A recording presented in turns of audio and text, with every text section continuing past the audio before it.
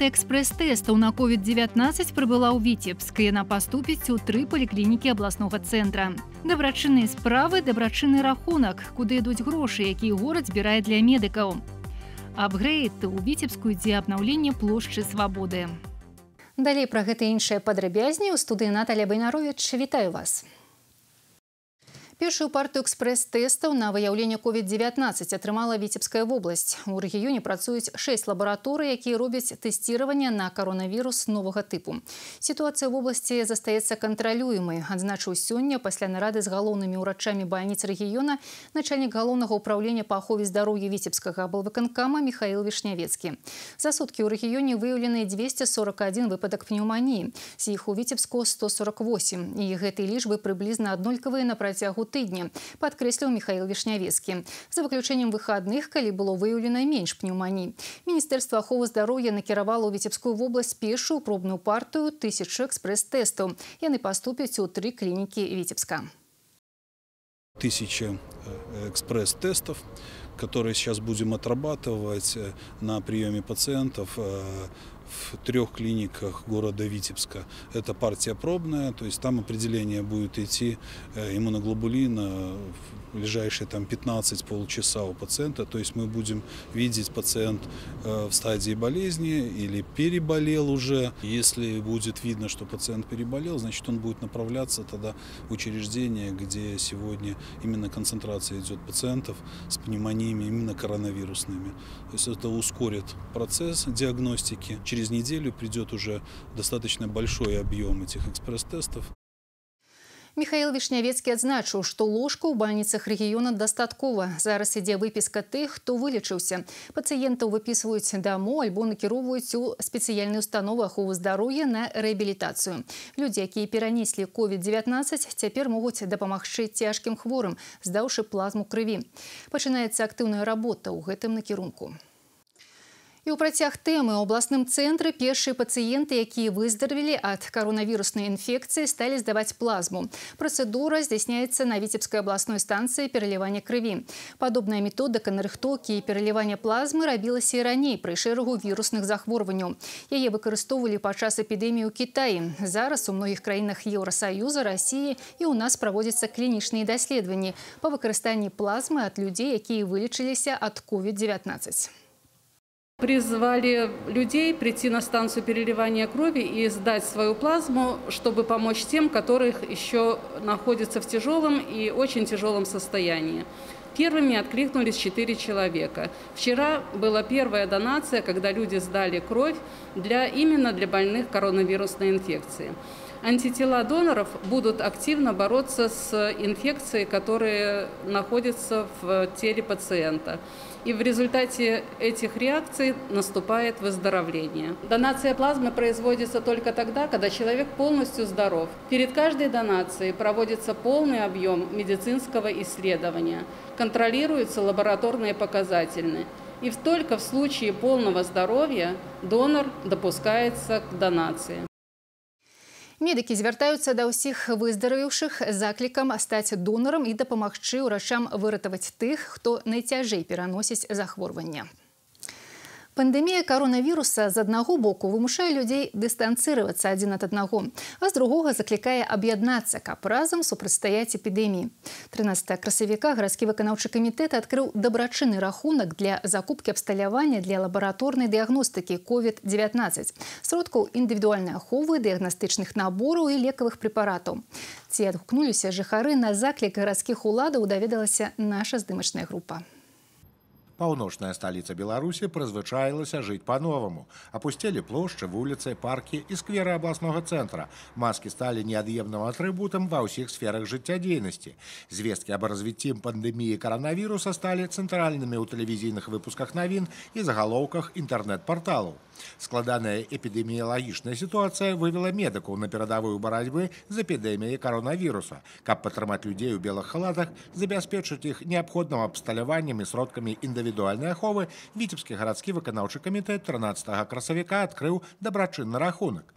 Намеснік старшыні гарваканкама Віктор Глушын падкрэсліў, што збор грашовых сродкаў ідзе вельмі актыўна. Прадпрымальнікі, дзяржаўныя прадпрыемствы адзіныя ў жаданні супрацьстаяць пандеміі коронавируса. Очень сложно отдать пальму первенства, потому что когда горосполком объявил о том, что открыт сбор средств на благотворительный счет Витебской городской центральной поликлиники для помощи нашим медикам, то откликнулись сразу многие. Это не только государственные организации, учреждения, госорганы, но и многие предприятия, э, индивидуальные предприниматели, просто физические лица. Например, э, на сегодня уже почти 100 различных организаций и предприятий перечислили свои э, денежные средства на благотворительный счет Сродкі, якія паступаюць у дабрачынны фонд, размяркоўваюцца па бальніцах абласнога цэнтра. Яны ідуць на набыццё масак, бахілу, ахоўных касцюмаў, лекавых прэпаратаў. І што вельмі важна, за іх кошт арганізавана бясплатнае гарачае харчаванне медыцынскіх работнікаў, якія займаюцца лячэннем пнеўманій і рэспіраторных інфекцый.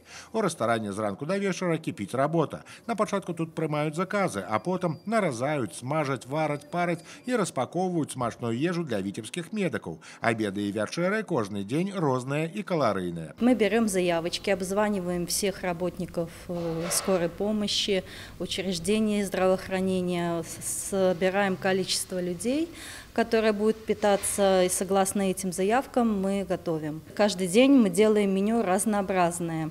Стараемся, чтобы это было вкусно, по-домашнему, чтобы какую-то приятную нотку для наших медиков сделать. Специалисты прогнозуют, что пик эпидемии коронавируса в Украине пропадет на початок мая, але хуткага яе заканчэння чакаць не приходится, а значит, дабрачынны рахунак пэўны час будет заставаться эффективным сродкам для падтрымкі медыкаў і набліжэння перамогі над COVID-19. Сергей Мисурагин, Станислав Дудин, Навины, Витебск. Выходные дома. Наперадзе вялікія выходные. І мы разам з медыкамі, святарамі, вядомымі ў горадзе людзьмі яшчэ раз нагадваем пра меры засцярогі ад інфекцыйных захворванняў. І просім па магчымасці заставацца дома, выконваць сацыяльную дыстанцыю, абмежаваць кантакты і берагчы сябе і сваіх родных.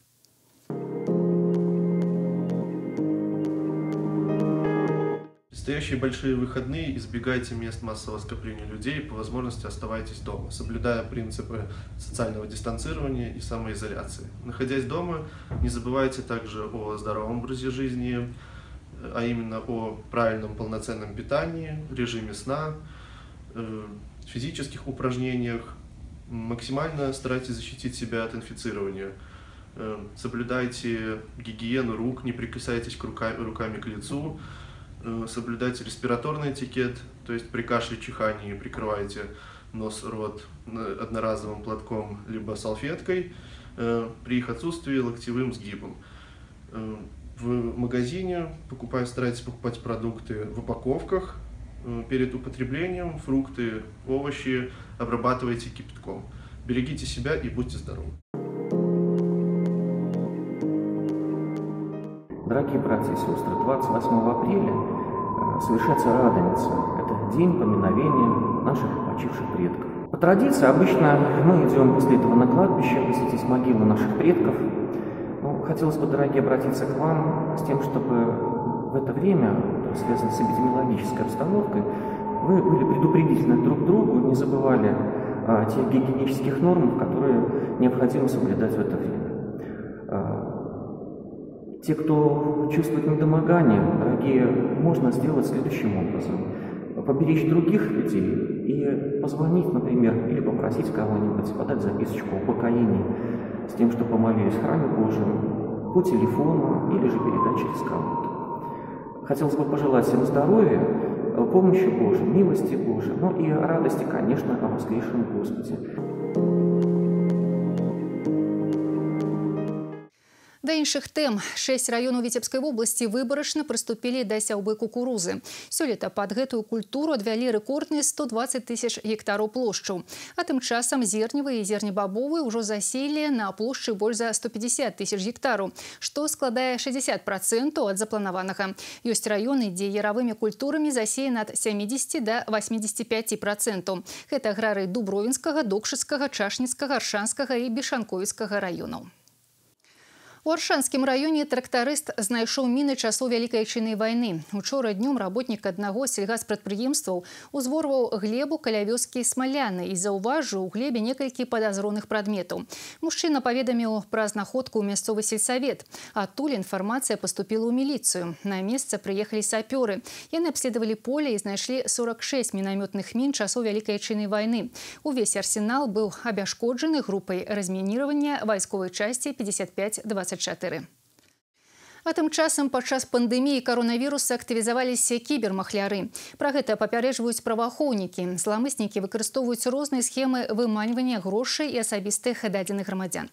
Напрыклад, рассылаюць праз інтэрнэт пісьмы ад імя сусветных арганізацый ці мясцовых дабрачынных фондаў з просьбай аказаць матэрыяльную дапамогу бальніцам ці грамадзянам хворым на каронавірус. На самай справе гэтыя звароты не маюць ніякага дачынення да дабрачыннасці. Яны ўтрымліваюць спецыяльны код, які наносіць шкоду коду компьютеру и выкрадае з яго усе асабістыя дадзеныя. В настоящее время вот нами расследуется уголовное дело по фактам кражи реквизитов банковских карточек, которые были получены именно таким способом. Для того, чтобы обезопасить себя, вы не должны открывать вложения, которые рассылаются в этих письмах. К примеру, документы Word только при открытии могут сразу же разместить на вашем компьютере вредоносное программное обеспечение, которое затем может использоваться для слежки за пользователем, кражи его паролей, банковских карточек и всех остальных э, реквизитов, включая даже э, запуск видеокамеры, которая находится на вашем ноутбуке.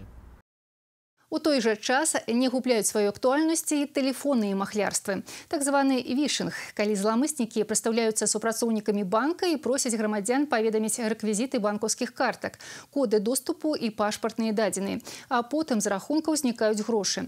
Зараз адразу два выпадкі такіх махлярстваў расследуюцца ў полацку. У мясцовых жыхароў кібермахляры скралі 8 і 40 тысяч долараў. Праваахоўнікі яшчэ раз папярэжваюць, ні пры якіх умовах нікому не паведамляць свае асабістыя дадзеныя і не пераходзіць па спасылках у пісьмах інтэрнэт-рассылкі. У віцебску на плошчы свабоды пачаліся работы па добраўпарадкаванні. Новы аб'ект стане яшчэ адным падарункам віцеблянам да абласных дажынак. У гэтым годзе іх прымае горад на дзвіне. Як ідзе рэканструкцыя плошчы, якія архітэктурныя формы тут з'явяцца, даведалася Крысціна Шанкарова. Визуально на этом проекте мы можем видеть концепцию благоустройства площади Свободы. То есть тот ее вариант, который будет после реконструкции. Ремонтные работы на площади Свободы идут полным ходом. За основных это демонтаж сцены и светлодиодного экрана. Так само будовники снимают верхнее покрытие над подпорной стеной с полночного боку площади. Напереди еще шмат работы, але она идет довольно шпарка. Работ входит э, устройство тротуара, конструктивно выделенного тротуара для безопасности людей. Он будет приподнят выше, чем прежде, чтобы была безопасность для людей. Будет э, замена э, старого асфальтного покрытия на новый. Будут выполнены ремонтные работы подпорной существующей стен, вплоть до улицы Даватора с устройством новых балясин гранитных, облицовка гранитными плитами и накрывок. Будет выполнено водоотведение, сделаны очистные сооружения, видеонаблюдение будет сделано, будет озеленение, малые архитектурные формы, э, освещение объекта, ну и другие сопутствующие работы. После масштабной реконструкции площадь будет новое обличчя. Тут з'явятся малые архитектурные композиции, место для отпочинку, парковка для велосипедов. У проекте предугледжены место для сцены и светлодиодного экрана, а так само для памятного знака про Миколаевский собор. Стоянка для автомобиля состанется на ранейшем месте. Здесь э, предусмотрено проектом, вот как здесь есть парковочки машины есть, так они будут предусмотрены по парковке машин, э, парковке машин. И плюс еще будут э, места, определенное место для остановки, высадки туристических автобусов для туристов и гостей города Витебска. История площади Свободы налічвае больш за 10 стагоддзяў і ўваходзіць у дзяржаўны спіс гісторыка-культурных каштоўнасцяў. Работы тут ідуць і пад археалагічным кантролем. Асноўны аб'ём спецыялісты плануюць скончыць да 1 ліпеня. Крысціна Шанкарова, Александр Рындзін, навіны Віцебск. А выпуск навін на гэтым завершаны. Я з вами развітваюся. Бывайце здаровы.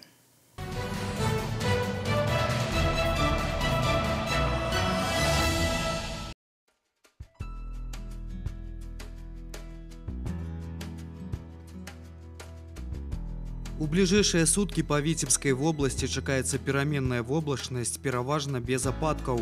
Вецер паўночна-заходні 5-10 метраў за секунду. Тэмпература паветра ноччу мінус 2 плюс 3, днём плюс 13 плюс 18. У Віцебску таксама пераменная воблачнасць ападкі не прагназуюцца. Вецер паўночна-заходні 5-10 метраў за секунду. Тэмпература паветра ноччу мінус 1 плюс 1, днём плюс 13 плюс 15.